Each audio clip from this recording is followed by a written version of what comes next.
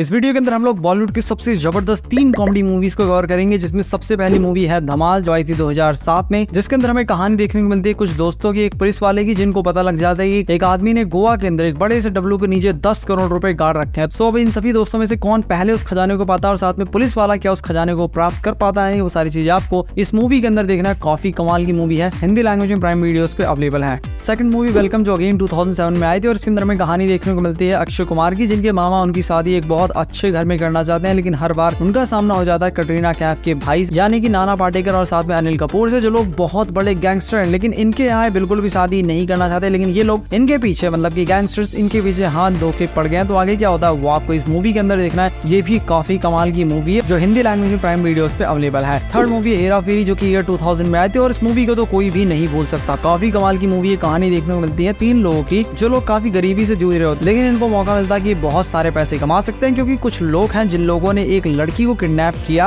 और वो इनके पास फ़ोन कर रहे हैं क्योंकि फ़ोन बुक में नंबर मिसप्रिंट हो गया। वो स्टार फिशेस को कॉल करना चाहते हैं लेकिन गलती से स्टार गैराज पे फ़ोन कर रहे हैं और, अब ये लोग स्टार फिशेस के मालिक से डबल पैसा ले रहे हैं ताकि ये आधा पैसा उन किडनेपर्स को दे लड़की उठाए और वापस स्टार फिशेस वालों को दे दे और बीच में जो प्रॉफिट बचेगा वो सारा का सारा इनका। तो क्या इनका प्लान वर्क करता है? नहीं वो आपको इस मूवी के अंदर देखना है। इसके दो पार्ट आए दोनों ही हिंदी लैंग्वेज में अवेलेबल है प्राइम वीडियो पर।